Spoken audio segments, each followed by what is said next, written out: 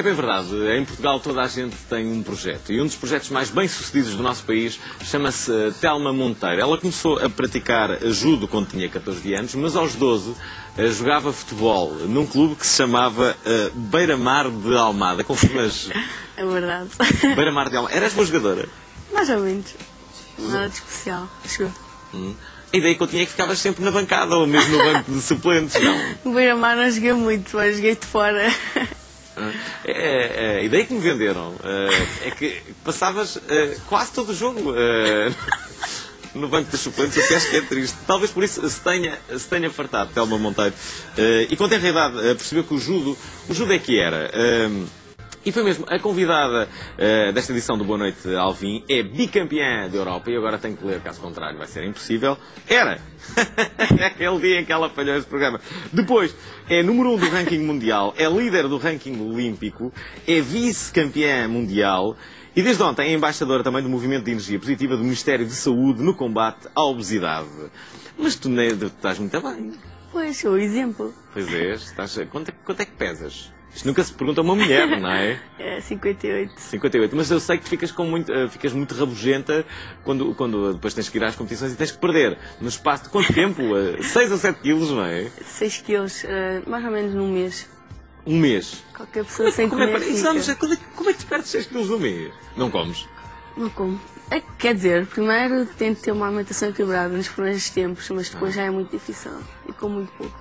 Até durante esse mês quase que não tens energia para, para lutar, para ir às compras, para, para, para ir ao cinema. Tenho, tu não tenho. Por isso é que energia. Continuas com, com, com energia? Sim. Tenho energia até ao dia da competição. Hum. Tenho é menos bom humor. Mas acho que tens bom humor e tu és, és, és aquilo que eu chamo uma, uma, uma rapariga mesmo corajosa a nível verbal. Tu dizes muito aquilo que pensas, não, não, não estás com grandes rodeios. De resto, numa entrevista uh, na Rádio Cidade, disseste que estavas de sexo à bruta. Confirmas? Depende. Hum. Estava a brincar. Brincadeira, sim. Eu convidei-te apenas e só porque disseste que gostavas de sexo à bruta. Tem que ir ao programa e é já. Uh, eu sei que nesta altura, uh, nesta altura não, tens, não tens namorado. Uh, e, e, e, e, tiveste alguma desilusão de amor, Telma? Não. Não, não. Está tudo bem? Não, estou para aqui solteira. Uhum. Uh, nós, uh, nós compreendemos porque é que tu estejas uh, solteira nesta altura. Nós temos algumas imagens de anteriores namorados da Telma Monteiro. Vamos, vamos exatamente mostrar agora antigos namorados depois de terem deixado Telma Monteiro. reparem só, as imagens. cá está, fotos dos namorados. Está este, deixou-a e sofreu este pequeníssimo golpe. Já está este senhor aqui. Deve não teve também uh, muita sorte. Uh, está, este, este, este namorado também uh, sofreu alguma coisa e cá está. Uh, são, são quatro exemplos de pessoas que ficaram um pouco maltratadas. Deve ser difícil acabar uma relação contigo. Normalmente as pessoas para acabarem a relação o que é que fazem?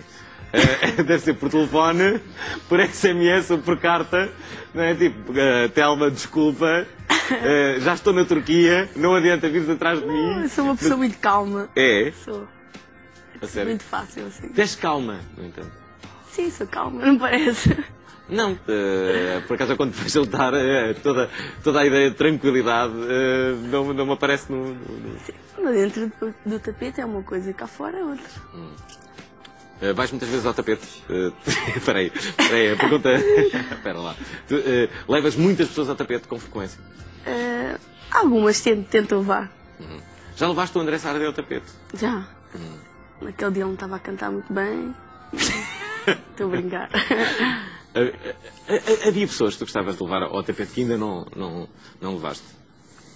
Agora assim de repente. Não, há sempre uma outra pessoa durante o dia a dia, mas agora assim de repente não estou a lembrar de ninguém. Hum. Sabes que uh, as últimas notícias acerca de ti deixaram muito preocupado, uh, que foi o facto de teres tido uma, uma lesão. Uh, essa lesão impede-te, pensava eu, pensava que te impedia de ir aos Jogos Olímpicos, mas isso não é verdade.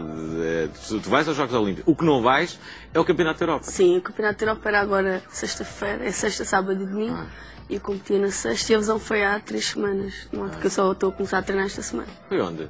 Foi no joelho. Onde? Em qual? Oi, neste aqui. Posso tocar? não, uh, faz...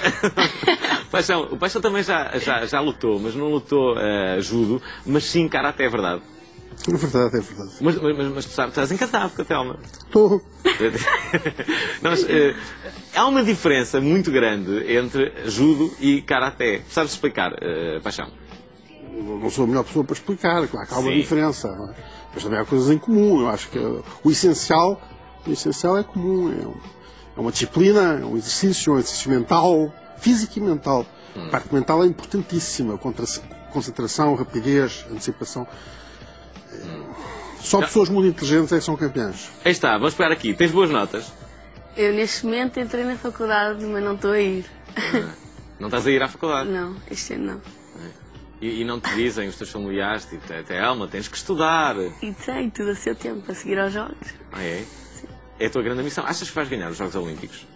Acho que há possibilidades eh, de, de conquistar uma medalha, seja ela qual for. Eh, também há a possibilidade de perder, mas não é esse pensamento que eu vou levar para lá. Se ganhares os Jogos Olímpicos na altura em que, está, eh, em que estás a cantar o, o hino, podes dedicar-me essa vitória a mim, por favor? Imenso, Claro, não sim, mando beijinho. A sério, que é é para. Há uma- coisa que eu sempre me intriguei, que é, quando estás a cantar o hino, e de certeza que já muitas vezes o fizeste, verdade? Sim, O que é que quer dizer igrejas avós? não sei. Igrejas avós. O que é que quer dizer igrejas? Eu acho que é como nobres. É? É que ninguém sabe em Portugal o que é que quer dizer igrejas. Então ainda bem, não sou única. E o que é que quer dizer judo em japonês? É a via da sua vida. Muito bem. O caminho da Se eu soubesse isso. O teu, o, teu, o teu filme favorito é o Karate Kid ou não? Não. Eh, tenho vários filmes, mas não é o Karate Kid. Se bem que eu, quando era pequenina, gostava muito de ver filmes de porrada e depois andava a porrada com a minha irmã, que estava ali atrás. Aliás, eh, é uma pena não termos a imagem da, da irmã, porque Ela- parece mesmo que andou à porrada com, com a outra irmã. e eu, eu. Não foste nada. Estou a brincar, não foi? Não, mas ela está um pouco debilitada. Está, mas eu acho que até dá um ar sexy, devo confessar. Fica muito sexy com a, com a. Como é que se chama aquilo? É um. Classe cervical. É um, é um colar cervical. Eu, se, se mandassem nisto, obrigava todas as mulheres a andarem de colar cervical. Ficam, ficam, ficam diferentes. O que vocês não sabem é que Telma Monteiro tem também eh, muito jeito eh, para o desenho. Mais uma vez, a equipa de produção do Bonito Alvim eh, fez uma pesquisa. Eh, muito, eh, muito, muito forte à procura de, de desenhos eh, que, demonstrassem aqui a sua arte. E são alguns dos desenhos de Telma Monteiro que vamos eh, ver agora. De- Desenhos que ela eh, desenhou quando tinha 6, 7 anos. Reparem. Os desenhos da Telma. Aí está. Uma pintura abstrata, isto quando tinha já 12 anos. Eh, temos aqui este também muito, muito bonito. Ela assinou, repara, isto foi há poucos anos atrás. E este, este é dos mais bonitos que a Telma fez. São Pois não desenhos. acreditar nisto. Não, por acaso não são dela, mas poderiam ter sido. Tens muito jeito para o desenho. Tu, tu gostas Não, de pintar? Eu, eu gosto de pintar, mas não, não considero que tenho jeito para o desenho. Eu gosto de pintar e pinto. Mas- Não é nenhuma obra de arte que eu não dava para matar a fome a ninguém. Mas, já, mas já, já tens quadros? tenho alguns em casa, que eu estou sempre a dizer que aqui parece mais quadros dos chineses que outra coisa. Mas nunca pensaste em vender um? Não, nunca pensei. O teu nome hoje em dia já vende. Aliás, tu deves ser das desportistas portuguesas eh, que, que, que mais patrocínios tens. De- Tens da, da- da- eu posso referi-los, eh, alguns que eu me lembro. Tens da Caixa Geral de Depósitos, tens da, da TMN, tens SEAT. da SEAT. Da Sportzone, da Adidas, Ah. da Season. Eh, Só temos uma hora para o programa. Eh, Não, mas, é uma grande responsabilidade. Imagina, imagina que tu agora eh, falhas. Todas essas, todos esses, esses patrocinadores vão sentir-se. Eu não te quero colocar alguma pressão, longe disso. Não, eu acho que tenho uma boa relação com, com os patrocinadores e se eles se me apoiam é porque acreditam em mim e, e têm- acho que têm a consciência que as coisas podem correr bem como podem não correr bem e se não conseguir naquele momento tem de conseguir noutros. Todos estamos cientes disso. Oh, Tama, eh, há pouco estávamos aqui a falar do Karate Kid, eh, não abandonando esta ideia, a verdade é que reparo que há muitos filmes eh, que se baseiam em, em desportos como o, o, Karate, cá está, Karate Kid, o boxe, já tivemos imensos filmes dedicados ao, ao boxe. Agora, ao judo ninguém quer saber. É verdade. Isto é verdade, ninguém faz filmes sobre judo.